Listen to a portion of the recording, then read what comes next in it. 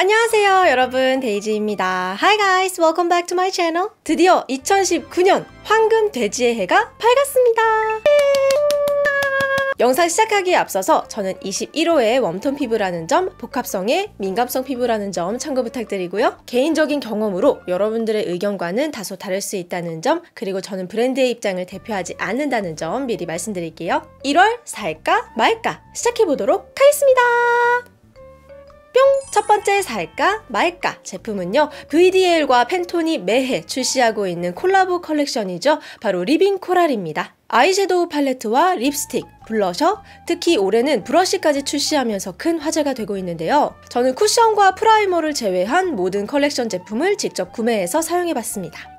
이번 2019년 팬톤에서는 대표 컬러를 Living Coral로 선정했는데요. 해양 생태계에서 아주 중요한 역할을 하고 있는 산호초에 대한 중요성 그리고 보호 인식을 널리 알리기 위해 선정했다고 합니다. 먼저 아이섀도우 팔레트 Living Coral이라는 이름답게 메인 컬러 coral을 중심으로 다양한 음영 메이크업을 할 수 있도록 구성했는데요. 제형은 powdery하고 발색은 살짝 연해서 daily용으로 적합하다는 생각이 들었습니다. mute톤에 가까운 색도 많아서 warm톤부터 mute톤까지 두루두루 사용이 가능한데요.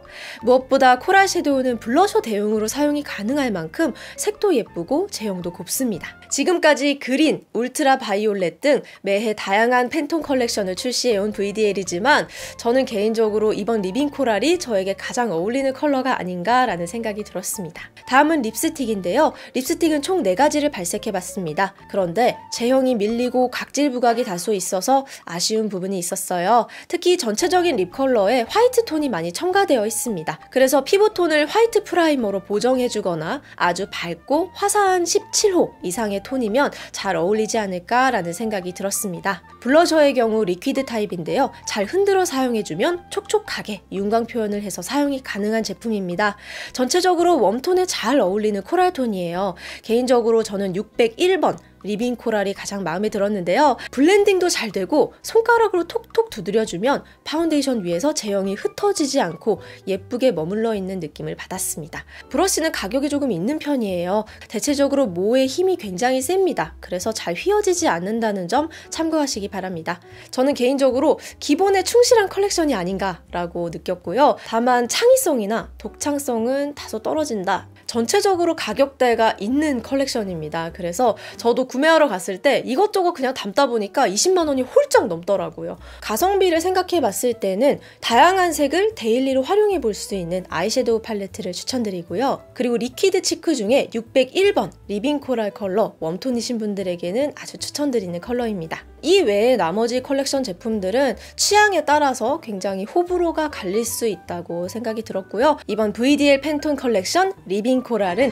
글쎄를 드리도록 하겠습니다. 다음 살까 말까 제품은 lip 제품을 가지고 왔는데요. 메이블린의 Super Stay Lip Ink 뉴욕시티입니다.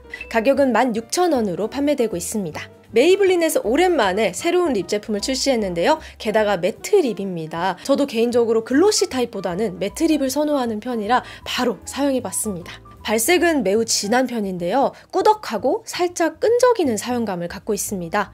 문제는 입술에 바르고 나서인데요. 휴지에 걷어내고 입술을 대어 fix를 시켜도 계속해서 끈적임이 남아있더라고요.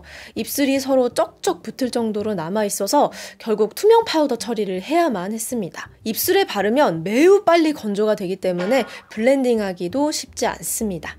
전체적으로 피부톤을 화사하게 만들어주면서 경쾌한 레드 컬러들인데요. 색깔은 피부를 화사하게 만들어주지만 제형이나 사용감 면에서 불편한 점이 몇 가지 있었습니다. 더군다나 입술에 바른 곳과 안쪽에 발리지 않은 곳의 경계가 뚜렷하게 생겨서 손이나 휴지로 닦아내야 하는 불상사도 있었습니다. 색은 굉장히 예쁩니다. 그래서 인스타그램이나 뭐 셀카를 찍었을 때는 사실 굉장히 화사해 보이는 컬러들이기도 해요. 하지만 가격 대비 성능이나 사용이나 사용감 면에서 불편한 점들이 좀 개선되면 좋지 않을까라는 생각이 들었습니다. 그래서 이번 메이블린 Super Stay Lip Ink 뉴욕시티는 아쉽지만 마세를 드리도록 하겠습니다.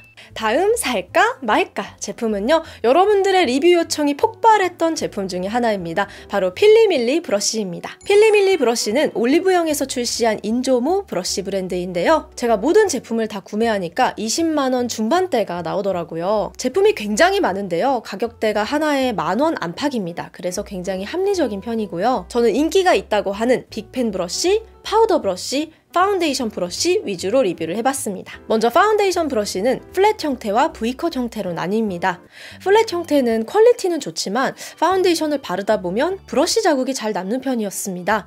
그래서 피부 표현은 굉장히 예뻤지만 브러쉬 초보라면 조금 사용하는데 어려움을 느낄 수도 있지 않을까라는 생각이 들었고요. 반면 V cut 파운데이션 브러쉬는 정말 신세계 기존의 두꺼운 형태의 파운데이션 브러쉬 저도 여러 번 사용해 봤는데요. 이 제품은 정말 파운데이션이 자국이 남지 않아요. 그리고 밀착력 있게 발리고 무엇보다 피부 표현이 정말 예쁩니다. 기존에 써봤던 뭉툭한 파운데이션 브러쉬 중에서 저는 가장 좋지 않았나라는 생각이 들었습니다. 다음은 big fan 브러쉬를 사용해 봤는데요. 상당히 독특한 디자인을 가지고 있습니다. 약간 납작하게 눌린 상태로 블러셔나 하이라이터를 쉽게 바를 수 있도록 디자인되었습니다. 브러쉬 영역이 일반 blending 브러쉬보다는 굉장히 큰 편이에요. 그래서 얼굴이 아주 작으신 분이라면 좀 사용이 불편하실 수도 있다는 점. 네, 근데 저는 뭐 딱 좋더라고요.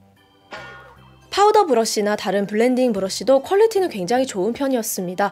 가격 대비 다른 고급 브랜드 브러쉬만큼 가성비가 좋습니다. 메이크업 blender는 살짝 거친 면을 갖고 있습니다. 하지만 리얼 테크닉스의 7, 80% 정도 이상의 가격 대비 준수한 퀄리티를 갖고 있는 제품입니다. 다만 이 제품도 크기가 좀 커서 세밀하게 사용하기에는 불편한 면이 있습니다. 마지막으로 조금 아쉬웠던 점에 대해서 굳이 말씀을 드려보자면 제품 기획보다는 제작 과정이나 포장 방식에 있어 있어서 조금 더 세심하게 진행이 되었으면 좋지 않았을까 하는 생각이 들었습니다. 패키지가 너무 약하고 작게 만들어져 있어서 꺼냈을 때 브러쉬가 갈라져 있는 현상들이 있었고요. 테이프의 접착면을 떼어내도 그대로 자국이 남아있는 점, 또 세게 사용하지 않아도 브러쉬 모가 지속적으로 두세 개씩 떨어져 나간다는 점 등은 개선이 필요해 보입니다. 이러한 부분들을 조금씩 개선해 나간다면 정말 오랫동안 사랑받을 수 있는 브러쉬가 되지 않을까라는 생각이 들었습니다. 다양한 용도와 합리적인 가격대로 브러쉬 시장에서 크게 추천할 만한 제품입니다. 이번 필리밀리 브러쉬는 사세를 드리도록 하겠습니다. 마지막 살까? 말까? 제품은요 바로 마스카라 제품입니다. 삐아 래쉬 살롱 마스카라 JC 컬입니다. lip tint 장인 삐아에서 드디어 마스카라가 출시되었는데요. 마스카라는 블랙과 브라운 두 가지 색으로 출시되었는데요. 얇은 applicator 디자인에 뭐가 삐죽삐죽 세게 나와 있지 않아서 볼륨이 잘 올라갈까 하고 우려스러운 첫인상이었습니다. 그런데 속눈썹에 바르자마자 오잉? 너무 자연스럽고 뭉치지 않게 잘 올라가더라고요.